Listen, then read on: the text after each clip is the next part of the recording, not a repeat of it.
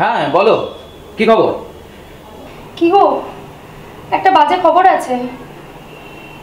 কৃষ্ণা নেই। হ্যাঁ? কি বলছো? হার্ট অ্যাটাক গতকাল রাতে। তুমি আসতে পারবে? এই তো সবে বিয়ে হলো ওদের।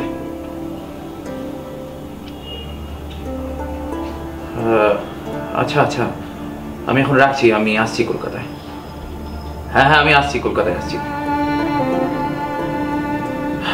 কৃষাণুর বাংলাদেশে বাড়ি। কর্মসূত্রে কলকাতায় আছে।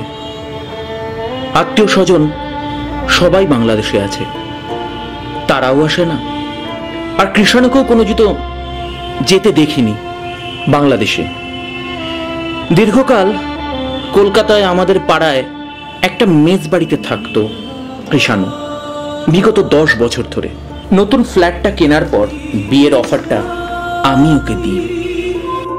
এবার তোর বিয়েটা কিন্তু করা উচিত কৃষাণু কি বলছিস? বিয়ে? না, আমার বাবা মা আছে এখানে। না, আমার কোনো আত্মীয় স্বজন আছে এখানে। আমি একা একটা মানুষ। পরিবারহীন ভাবে বিয়ে করে কি করব? হয় হয়। খুব হয়। বিয়ে তো একটা বন্ধুত্ব কৃষাণু। যে বন্ধুত্ব সময়কে অতিক্রম করতে জানে পরিবেশ পরিস্থিতিকে মানিয়ে নিয়ে আবদ্ধ করতে জানে বিয়ে। ঠিক আছে। শুধু দেখিস মেয়েটা যেন অসুখী না হয়। আমরা আছি তো কৃষাণু। আমরা আছি তো। এত চিন্তা করিস না। আমরা আছি।